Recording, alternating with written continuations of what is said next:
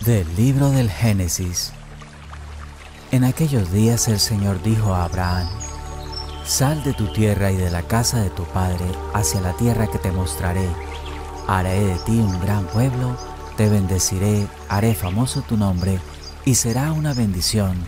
Bendeciré a los que te bendigan, maldeciré a los que te maldigan. Con tu nombre se bendecirán todas las familias del mundo. Abraham marchó como le había dicho el Señor, y con él marchó Lot. Abraham tenía 75 años cuando salió de Arán. Abraham llevó consigo a Sarai, su mujer, a Lot, su sobrino, todo lo que había adquirido y todos los esclavos que había ganado en Arán. Salieron en dirección de Canaán y llegaron a la tierra de Canaán. Abraham atravesó el país hasta la región de Siquem hasta la encina de Moré. En aquel tiempo habitaban allí los cananeos. El Señor se apareció a Abraham y le dijo, A tu descendencia le daré esta tierra. Él construyó allí un altar en honor del Señor que se le había aparecido.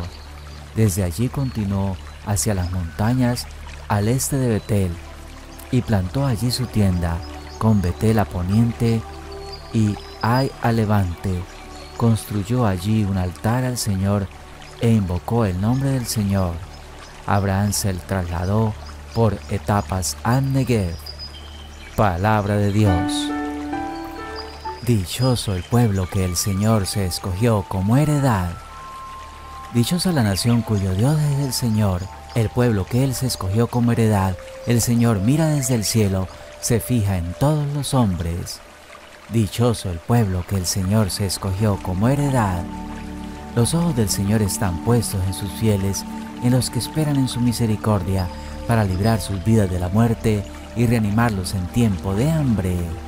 Dichoso el pueblo que el Señor se escogió como heredad. Nosotros aguardamos al Señor, Él es nuestro auxilio y escudo. Que tu misericordia, Señor, venga sobre nosotros como lo esperamos de ti. Dichoso el pueblo que el Señor se escogió como heredad. Del Santo Evangelio según San Mateo.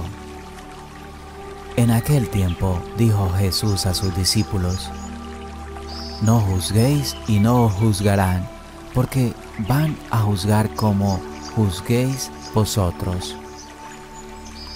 Y la medida que uséis la usarán con vosotros.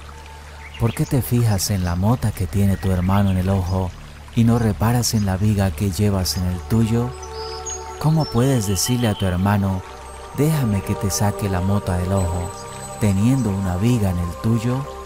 Hipócrita, sácate primero la viga del ojo, entonces verás claro y podrás sacar la mota del ojo de tu hermano.